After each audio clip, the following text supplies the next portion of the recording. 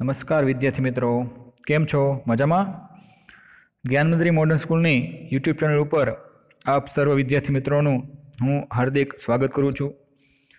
વિદ્યાર્થી મિત્રો, આપણે ધોરણ અગિયાર મનોવિજ્ઞાનની વિષય વિષયની અંદર પ્રકરણ નંબર છ, સ્મરણ અને વિસ્મરણ.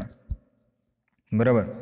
એના વિશે અભ્યાસ એ કરતા હતા, જેની અંદર આપણે ગયા લેક્ચરની અંદર સ્મૃતિ અવરોધો અને વિસ્મરણનો અર્થ બરાબર, એના વિશે અભ્યાસ છે, એ કર્યો તો આજે આપણે સ્મૃતિના અવરોધો જે છે, બરાબર છે, એના વિશે વાત છે એ કરશું. તો ચાલો, વિદ્યાર્થી મિત્રો, પ્રકરણ નંબર છ જે છે, સ્મરણ અને વિસ્મરણ જે છે એ ની આગળ છે, શરૂઆત કરીએ. તો વિદ્યાર્થી મિત્રો, અહીં આપણે સ્મૃતિના સુધારા, બરાબર છે, ત્યાં સુધી પહોંચ્યા ત્યાં. આપણે અહીં અગાઉ અનુવાદ અવરોધો જે છે, એના વિશેના વાત કરી હતી કે સ્મૃતિ અવરોધો કોને કહીશું, સ્મૃતિ અવરોધો કેવા પ્રકારના છે તેની અંદર બે છે પૂર્વક્રિયા અવરોધ અને બીજું છે અનુક્રિય અવરોધ બરાબર છે? એના વિશે આપણે અભ્યાસ છે આપણે ગયા લેક્ચરની અંદર કરી ગયા છીએ. વિદ્યાર્થી મિત્રો, આજે આપણે આગળના જે ટોપિક જે છે, બરાબર છે, એના વિશે વાત કરશું. કે ભાઈ સ્મૃતિ સુધારણા, એની અંદર સૌપ્રથમ જો આપણે વાત કરવાની છે, સ્મૃતિ સુધારણા, કે ભાઈ આ યાદ રાખવાની શક્તિ જે છે, બરાબર છે, એની અંદર આપણે કઈ રીતે સુધારા છે, કરી શકીએ, કઈ રીતે યાદ રાખી શકીએ. જોઈએ તેના વિશે તો આપણે આપણી સ્મરણ શક્તિને કઈ રીતે વધુને વધુ ઉત્પન્ન, ઉન્નત બનાવી શકીએ? બરાબર? તો આપણે યાદ કરવાની શક્તિ આપણે અમુક કહેતા બદામ ખાઈએ એટલે આપણે યાદ રહેતા હોઈએ છીએ. બરાબર છે? પણ આવડી એક માનસિકતા આપણી પાસે હોય છે. પણ આપણે આપણી સ્મરણ શક્તિને કઈ રીતે વધારે યાદ રાખી શકશું? કઈ રીતે વધારે મજબૂત બનાવી શકશું? તો એના માટે આપણે યોગ ને પ્રાણાયામ ને બધું કરતા હોઈએ છીએ. બરાબર કે ભાઈ આપણી માનસિક સ્થિતિ જે છે એ ખૂબ જ સારી રહે. બરાબર? તો એના માટે થઈને આપણે પ્રાણાયામ યોગ જે છે એ કરીએ છીએ. તો આ સ્મરણ શક્તિને કઈ રીતે વધુને વધુ ઉન્નત બનાવીએ શકીએ એ પણ આપણે જોતા હોઈએ છીએ. સ્મૃતિ સુધારણા માટે વધુને વધુ પ્રયોગો કરવામાં આવ્યા છે, પરંતુ સ્મૃતિ સુધારણા માટે કોઈ રામબાણ કે જાદુઈ ઉપાયો નથી. બરાબર, તો સ્મૃતિ અવરોધ માટે થઈને અથવા સ્મૃતિ સુધારણા માટે ઘણા બધા પ્રકારના મિત્રો આપણે કંઈક કંઈક નવા નવા પ્રયોગ કરતા હોઈએ છીએ કે ભાઈ કઈ રીતે આપણી યાદશક્તિ જે છે એ વધે. બરાબર? તેના માટે એવું કોઈ રામબાણ ઇલાજ નથી કે જાદુ નથી કે ભાઈ ચાલો આપણી શક્તિ ઓટોમેટિક સારી થઈ જાય. આપણે કાંઈ જે પિક્ચર જોતા હોઈએ છીએ, ખબર છે? કે પિક્ચરની અંદર પણ એવું આવે કે યાદ રાખવાની સ્ટ્રીક ને એવું બધું. તો આપણે એવું પણ નથી. બરાબર? આપણે પાસે જાદુ નથી, એવું કાંઈ રામબાણ ઇલાજ નથી, જેથી કરીને આપણી સ્મૃતિ જે છે એ સુધરે. ઘણા લોકોના મુખે સાંભળવા મળે છે કે બદામ ખાવાથી યાદશક્તિ છે એ સુધરે. મેં તમને અગાઉ કીધું એમ કે બદામ ખાવાથી આપણને યાદશક્તિ છે, એ સુધરે એવું હોતું નથી. પણ આપણી એક એવી માનસિકતા છે. પ્લસ આપણે એવું મનથી અંદર વિચારી લઈએ છીએ કે ભાઈ, આ ખાઈએ એટલે આપણને યાદ રહેશે. બરાબર છે? અમુક તો ઘણા બધા એવા પણ વિદ્યાર્થીઓ, ઘણા બધા એવા પણ વ્યક્તિઓ જે છે, કંઈ આવો કંઈ ખોરાક નથી, તો પણ એ પોતાની યાદશક્તિ એટલે મજબૂત હોય. બરાબર છે? જે વાત તદ્દન સાચી ન પણ હોય. બરાબર કીધું ને? પરંતુ સ્મૃતિને સુધારણા માટે જ્ઞાન અને મહાવરાની જરૂર છે એ પડે છે. બરાબર? પહેલી વસ્તુ શું છે? જ્ઞાન અને બીજું છે એ મહાવરો. બરાબર? અહીં સ્મૃતિ સુધારણા માટે ઉપયોગી એવી કેટલીક અભ્યાસી ટેવો અને પ્રયુક્તિઓનો નિર્દેશ કરવામાં આવ્યો છે કે ભાઈ સ્મૃતિને સુધારણા માટે થઈને ઘણી બધી પ્રયુક્તિઓ જે છે એ અહીં આપણે વાપરવામાં આવેલી છે. તો સ્મૃતિ સુધારણા માટે આપણે જોઈએ પેલું આપણે કીધું છે ગોઠવણી. બરાબર છે? પહેલી વસ્તુ આપણે શું કીધું છે? ભાઈ, ગોઠવણી કઈ રીતે કરશું આપણે? ઓકે. જે તે બાબત યથાસ્થાને હોવી એનું નામ ગોઠવણી. કોઈ પણ વસ્તુઓ જે છે, બરાબર, જે તે સ્થાન ઉપર આપણે રાખતા હોઈએ, તેને આપણે શું કહીએ છીએ? ગોઠવણી કહીએ.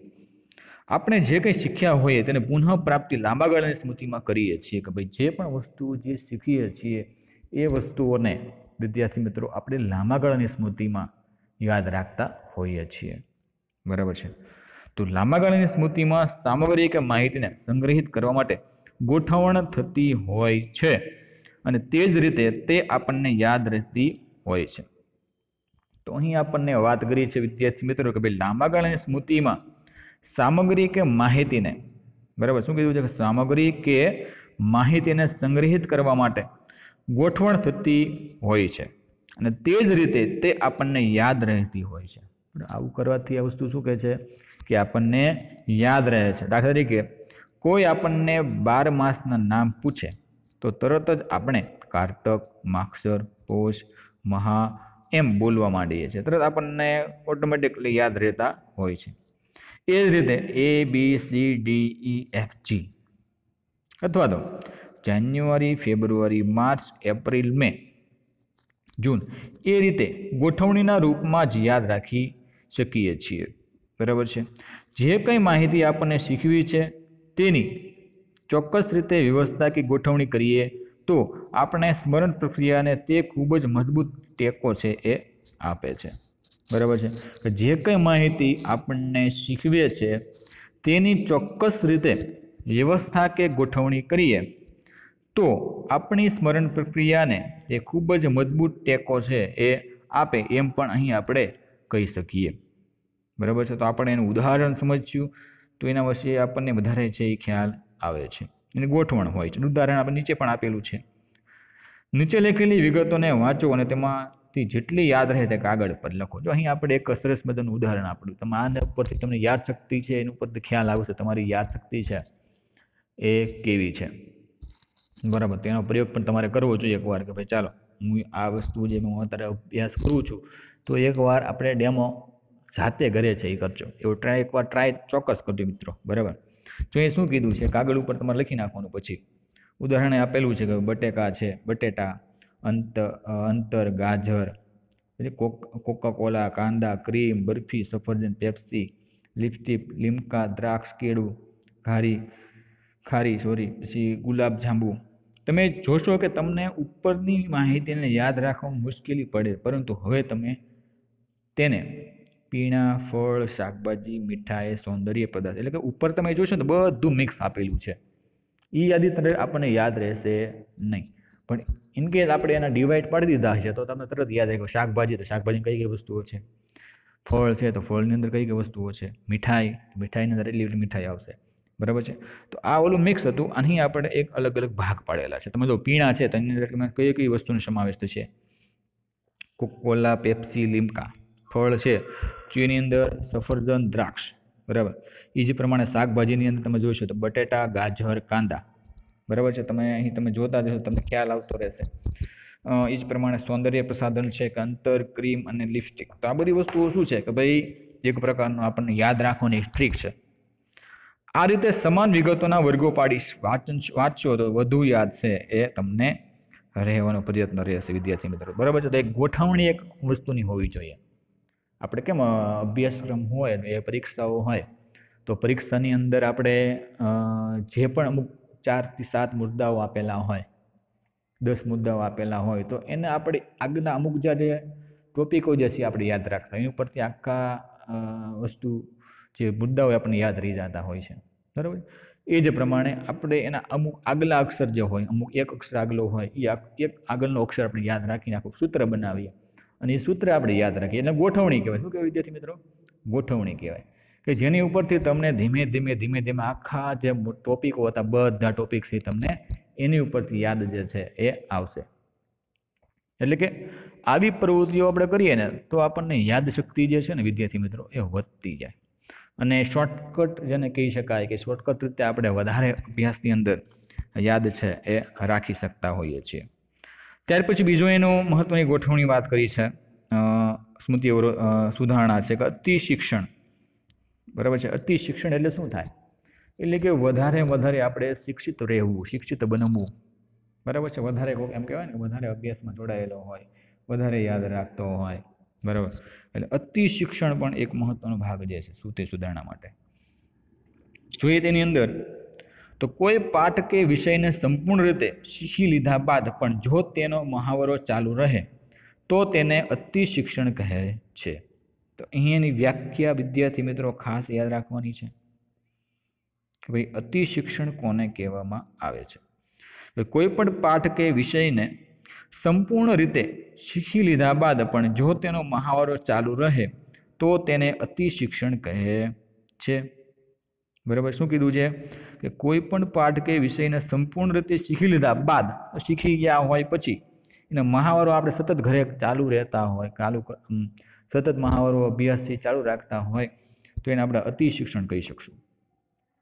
અથવા તો કોઈ પણ બાબતને વારંવાર યાદ કરીએ તો તે અતિ શિક્ષણ કહેવાય છે કે વારંવાર એ વસ્તુને આપણે રિપીટ કરતા હોઈએ. બરાબર? વારાઘડી આપણે યાદ રાખતા હોઈએ. તો આ વસ્તુને આપણે શું કહીએ છીએ? અતિ શિક્ષણ કહેવામાં આવે છે. અભ્યાસોથી એવું પુરવાર થયું છે કે જે જ્યારે કોઈ વ્યક્તિ કોઈ વિષયનું અતિ શિક્ષણ કરે છે, તો તેનાથી પાઠનું સાહચર્ય ઘણું જ મજબૂત છે, બની જાય છે. અને શીખેલી બાબતનું લાંબા સમય સુધી સ્મરણ છે થાય છે. અમુક વાર વિદ્યાર્થી મિત્રો એવું પણ બને કે ભાઈ ચાલે, આપણે અભ્યાસ છે એનું પઠન જે રિવિઝન પારા વારાઘડી વારા ઘડી આપણે રિવિઝન છે કરતા હોઈએ. બરાબર? આપણને જ્યાં સુધી ન આવડે ત્યાં સુધી રિવિઝન કરતા હોઈએ. તો એવું પણ વાર એવું પણ બને કે એ સ્મૃતિ જે લાંબા ગાળાની સ્મૃતિની અંદર આપણને યાદ છે એ રહી જતું હોય છે. આપણે જ્યારે પ્રાથમિક શાળામાં હતા તે તે જ ગીતો, કાવ્યો, પ્રાર્થનાઓ, આંખ કે પલખા શીખ્યા તે મોટી ઉંમરે પણ બહુ સહેલાઈથી યાદ છે, એ રહી જાય છે. કેમ કે નાના હતા ત્યારે આ બધી વસ્તુઓ આપણને ઝડપ, ઝડપથી યાદ છે, એ રીતે. કેમ કે દરરોજ આપણે પ્રાર્થના બોલવાની આવતી, દરરોજ રમવાનું આવતું, દરરોજ કાવ્ય બોલવાના આવતા, હે? આપણે વારા હોય છે ને? શાળાઓની અંદર તમે જોશો વિદ્યાર્થી મિત્રો કે ભાઈ ગીતોનો વારા હોય, કાવ્ય બોલવાના હોય, આંખ બોલવાના હોય એવું બધું વારા ઘડી આપણને રિપીટ કરાવતા હોઈએ છીએ. જેથી કરીને એ વસ્તુ આપણને લાંબા સમય સુધી યાદ છે એ રહે છે. આનું એક જ કારણ છે અને તે એ કે આ સામગ્રીનું અતિ શિક્ષણ થયેલું હોય છે. બરાબર? આ વિષયનો અભ્યાસીઓ એમ કહે છે કે જો આપણે કોઈ પણ સામગ્રીનું અતિ અધ્યયન કરીએ, તો તે સામગ્રીને વધારે સારી રીતે દીર્ઘકાલીન સુધી યાદ રાખીએ છીએ. બરાબર છે? તો આપણને વાત કરી છે કે ભાઈ આ વિષયના અભ્યાસો એમ કહે છે કે જો આપણે કોઈ પણ સામગ્રીનું અતિ અધ્યયન કરીએ, તો વધારે વધારે એનો અભ્યાસ કરતા હોઈએ, તો સામગ્રીને વધારે સારી રીતે અને દીર્ઘકાળ સુધી યાદ રાખી શકીએ છીએ. બરાબર. કોઈ પણ માહિતીને યાદ રાખવા માટે લઘુત્તમ મહાવરા કરતાં જેટલો મહાવરો વધુ, તેટલું તેનું શિક્ષણ આપણને વધારે વધારે યાદ રહે છે. તો આપણને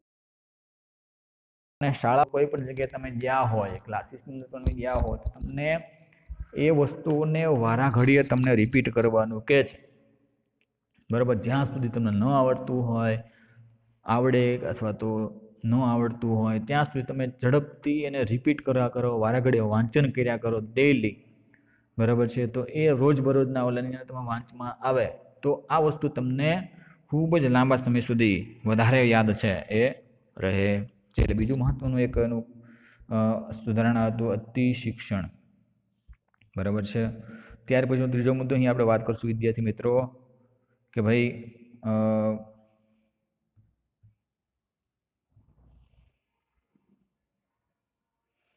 બરાબર છે? અંતરીકૃત વિરુદ્ધ સળંગ પદ્ધતિ. શું કીધું છે? અંતરીકૃત વિરુદ્ધ સળંગ પદ્ધતિ. જોઈએ વિશે.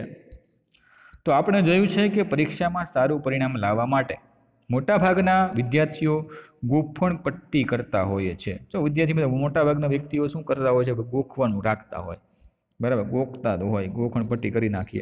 પણ ગોખેલી વસ્તુઓ આપણને ભૂલી જવાય. એ તમારે ખાસ યાદ રાખવાનું છે.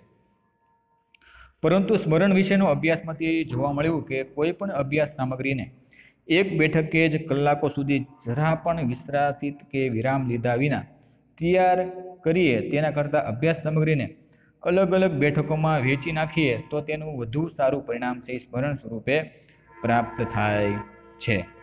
બરાબર? તો અહીં તમને વાત કરી છે કે અતિકૃત પદ્ધતિ કાર્યક કૌશલ્ય શીખવામાં તેમજ તથ્ય અને માહિતીના શિક્ષણ બંનેમાં ઉપયોગી છે. શું છે? આંતરિકૃત પદ્ધતિઓ જે છે એ કૌશલ્ય શીખવામાં તેમજ તથ્યો અને માહિતીના શિક્ષણમાં બંનેમાં વધારે વધારે આપણને ઉપયોગી બને છે. સંગીતનું શિક્ષણ લેનાર વિદ્યાર્થી જાણે છે કે અઠવાડિયામાં એક દિવસ સળંગ રિયાઝ કરવા કરતાં દરરોજ એક કલાક રિયાઝ કરવાથી વધુ ફાયદો થાય. જો આપણે અઠવાડિયે એકવાર આખું બે ત્રણ કલાક લઈએ તેમાં ન મજા આવે. યાદ ન રહે બધું. પણ સંગીતવાળાને એટલી ખબર છે કે ભાઈ હું ડેલી એક કલાક જે છે એ મારા સંગીતને આપીશ. જેથી કરીને એ વધારે વધારે ફાયદો કરી શકે છે. નિયમિત રિયાઝ કરનારાઓ માટે સંગીતકારો કહે છે કે જો રિયાઝ કરેગા વો રાજ કરેગા તો મહત્વની મસ્ત સરસ મજાની વાત કરી છે અહીં કે જે જો રિયાઝ કરેગા વો રાજ કરેગા જો વધારે વધારે વાંચન કરશે વધારે વધારે પઠન કરશે બરાબર છે યાદ રાખશે તો એ એમ કહેવાય કે રાજ કરશે એવું પણ અહીં આપણને કીધેલું છે ચોથું અને મહત્વનું સુધારણા જે છે એની વાત કરશું મનન વિરોધી વિરુદ્ધ પુનઃ વાંચન બરાબર છે કે મનન વિરુદ્ધ પુનઃ વાંચનમાં મનન વધુ લાભદાયી બને છે. મનન કરવું, સતત મગજની અંદર તમારે એ વસ્તુનું પઠન કરવું એમ પણ કહી શકાય કે યાદ રાખવું મારા ઘડીએ. ઘણા વિદ્યાર્થીઓ પરીક્ષાઓની તૈયારી કરતા હોય છે. ત્યારે સતત પાઠ્યપુસ્તકો કે નોટબુક વાંચ્યા જ કરે. તમે જો આવું બધી વસ્તુ ઘટનાઓ બને કે જ્યારે એક્ઝામ આવે, બરાબર છે, ત્યારે સતત એ વસ્તુ આપણે વાંચતા જ હોઈએ છીએ. પરંતુ આ બાબતમાં સંશોધકોમાંથી એવું જાણવા મળ્યું છે કે જો તમે તમારા અભ્યાસક્રમમાં થોડો સમય મનને આપો તો પુનરાવહન સારું કરી શકો. છો. બરાબર છે, તો અહીં એક સરસ ઉદાહરણ પણ આપેલું છે. દાખલા તરીકે તમે એકાદ પાનો કે ફકરો વાંચો, પછી તેનું મનન કરો. તો અહીં આપણી એવું લોજિક છે કે તમે એક ફકરો ઇન કેસ તમે વાંચો, પછી ફકરાનું તમારે શું કરવાનું હોય છે? સતત એનું રિવિઝન કરવાનું, મનન કરવાનું હોય. ત્યારબાદ તેનું પુનરાવહન કરવાની પ્રેક્ટિસ કરો. તો તેમાંથી ફાયદો છે એ તમને ચોક્કસ થશે, વિદ્યાર્થી મિત્રો. બરાબર છે? આ વસ્તુ તમે કરશો તો એનો ફાયદો તમને ચોક્કસ મળશે ગેરેન્ટેડ મળશે. બરાબર? પણ તમારે આ વસ્તુની જરૂર છે. પછી આપણે એકવાર વાંચી નાખતા હોય પણ બને. આમ કર્યા પછી ફરી વાંચો. પાછા વાંચવાનું બંધ કરી મનન કરો. આમને આમ ગાડી આગળ જવા દો. આ વસ્તુ તમારે યાદ રાખવાની. મનન વિરુદ્ધ પુનઃ વાંચન. બીજી વાર વાંચવું. ઓકે? એઆઈ ગેટ્સ એટલે કે ઓગણીસો સત્તરની અંદર મનોવૈજ્ઞાનિક અભ્યાસ પાસે સરખો સમય ફાળવનાર જુદા જુદા જૂથોનો અભ્યાસ કર્યો. આ જૂથોમાં કેટલાક જૂથોએ મનને વધુ સફળ ફાળવ્યો હતો કે ભાઈ વધુ સફળ જે છે, તો તે કેટલાક જૂથોએ પુનઃ વાંચનને વધુ સમય ફાળવ્યો હતો.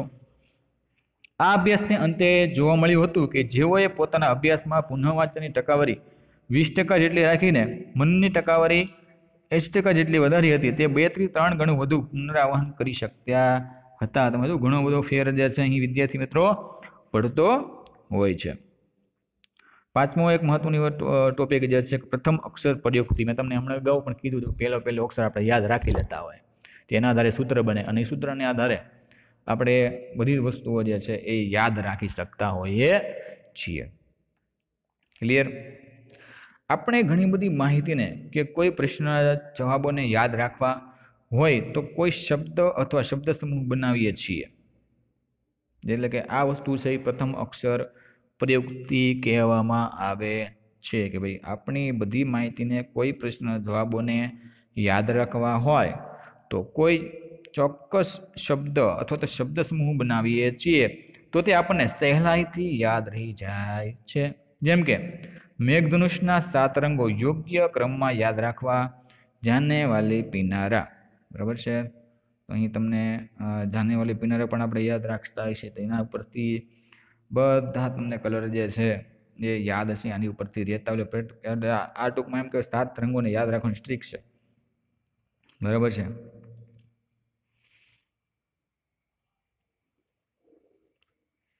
બરાબર છે? એટલે આ પ્રથમ અક્ષર પ્રયુક્તિ પણ તમે આ રીતે યાદ રાખી શકો છો. ત્યાર પછી આવે છે પીક્યુ આર એસ ટી પદ્ધતિ. બરાબર કઈ પદ્ધતિ છે? પીક્યુ આર એસ ટી પદ્ધતિ. જુઓ તમે આ પદ્ધતિ કઈ રીતે છે? કે આ પદ્ધતિની શોધ થોમસ અને રોબિન્સ. બરાબર? થોમસ અને રોબિન્સે ઓગણીસો ને બ્યાસી કરી હતી બ્યાસીની અંદર. ઓગણીસો ને બ્યાસીની અંદર કરી હતી. આ પદ્ધતિનો આ પદ્ધતિનો મૂળ ઉદ્દેશ પાઠ્યપુસ્તકોની સામગ્રીને સ્મરણ ક્ષમતા વધારવાનો છે. આ પદ્ધતિનું નામકરણ નીચેના પાંચ પગથિયા પર પ્રથમ અક્ષરના આધારે થયેલું છે. પાંચ પગથિયાઓ અહીં આપેલા છે. એની ઉપરથી અહીં આપણે આ પીક્યુઆરએસ પદ્ધતિ જે છે, એ બનાવવામાં આવેલી આ પાંચ ટોપિક કયા કયા તમે જોઉં છો. તો પી એટલે કે પ્રિવ્યુ, બરાબર છે. ક્યુ એટલે કે ક્વેશ્ચન, આર એટલે કે રીડ, એસ એટલે કે સેલ્ફ રિએક્શન એન્ડ ટી એટલે કે test. Okay? P Q R S T. P એટલે કે પ્રિવ્યુ, ક્યુ એટલે કે ક્વેશ્ચન, આર એટલે કે રીડ, એસ એટલે કે સેલ્ફ રિએક્શન ટી એટલે કે ટેસ્ટ. ઓકે ક્લિયર જુઓ તમે અલગ અલગ ટોપિક અહીં આપેલા છે કે ભાઈ પ્રિવ્યુ પેલું આપણને શું કીધું છે? પ્રિવ્યુ બરાબર છે? એટલે કે આપણે કેમ કોઈ ડેટા ટાઈપ કર્યો હોય તો પ્રીમ પ્રિવ્યુ જોઈએ. કેમ બરાબર આવે છે ને બધું? બરાબર છે? પ્રિવ્યુ કહેવાય. પૂર્વદર્શન જેને કહી શકાય.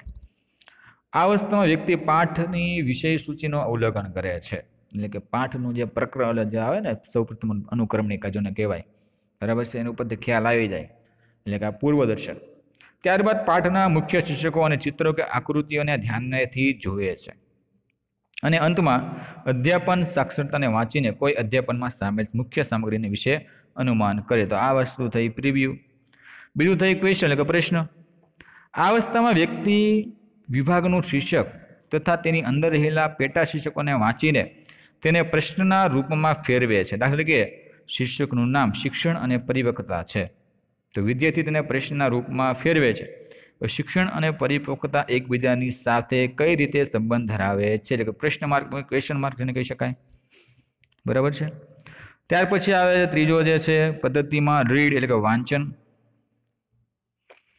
આ અવસ્થામાં વ્યક્તિ વિભાગની સામગ્રીઓ વાંચવાનું શરૂ કરી દે છે. અને મુખ્ય શબ્દો અને વાક્યો રેખાંકિત કરે છે. સાથે જ આ પહેલાંની અવસ્થામાં બનાવેલા પ્રશ્નોના ઉત્તર પણ શોધવાનો પ્રયત્ન છે એ વ્યક્તિ કરતો હોય છે. બરાબર. ચોથું આપણને કીધું છે સ્વપઠન એટલે મનન કરવું સતત. આ અવસ્થામાં વ્યક્તિ વિભાગોને વાંચવાનું પૂરું કરીને તેના મુખ્ય ખ્યાલો અને વિચારોનું મનન, મનમાં મનન કરે છે.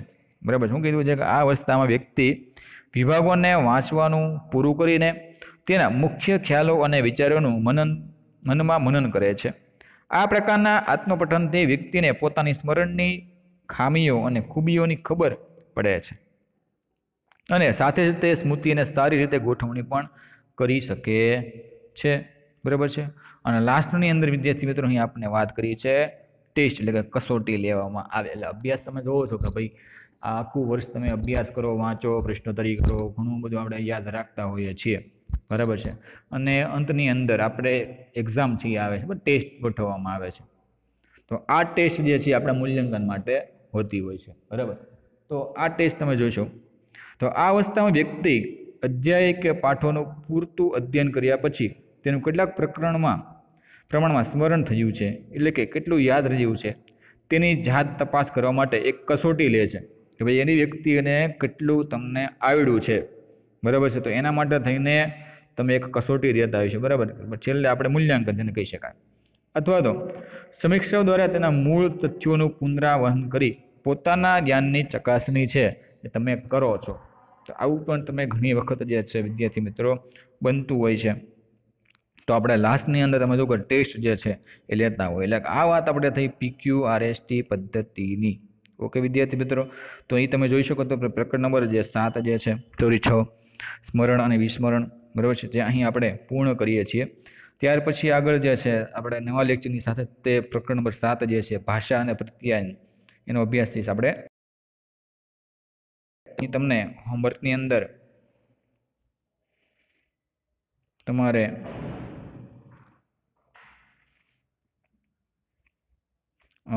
વાત કરવાની છે કે ભાઈ સ્મૃતિ સુધારણાની પ્રયુક્તિઓ. બરાબર છે? સ્મૃતિ સુધારણાની પ્રયુક્તિઓ. જે તમારે હોમવર્કની અંદર વિદ્યાર્થી મિત્રો લખવાનું રહેશે. બરાબર છે? તો વિદ્યાર્થી મિત્રો નેક્સ્ટ વિડીયોની અંદર પાછા બધા આપણે ભેગા થશું ત્યાં સુધી stay home stay safe okay bye student